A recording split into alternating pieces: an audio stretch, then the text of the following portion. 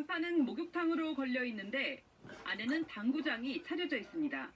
직원들이 몰래 돈을 받고 내기 도박 장소로 제공했다고 합니다. 그게 1인당 만원씩 갔다 시간은 몇 시까지 운영이? 저녁에 한 9시부터 10시까지 됐다 오면 코로나19 시기에 직원들이 방역 지침까지 어기면서 돈벌이에 나섰다며 비난의 대상이 됐습니다. 돈만 벌면 된다는 완전히 비뚤어진 사상을 가진 너드란 인간들이 모여드는 위험한 장소라고밖에 달리 볼 수 없습니다. 북한 주민 대상 교육 영상에선 이처럼 돈을 목적으로 한 각종 위법 행위가 판치는 실태가 확인됐습니다. 교육용 도서를 집필하는 곳에선 보양식으로 알려진 기름개구리를 무허가로 양식했고 광산의 지배인이 지하 자원을 채굴에 팔아먹었다고 소개되기도 했습니다.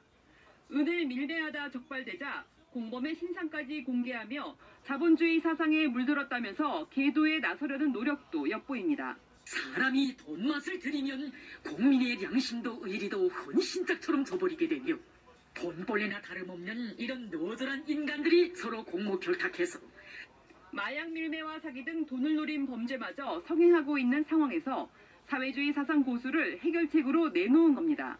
북한 같은 이제 저발전 국가에서 이 물질적인 그 안정이 안 되면 결국 강조하는 건 사상 강조거든요. 그래서 물질 세계의 문제를 정신 세계로 극복하라.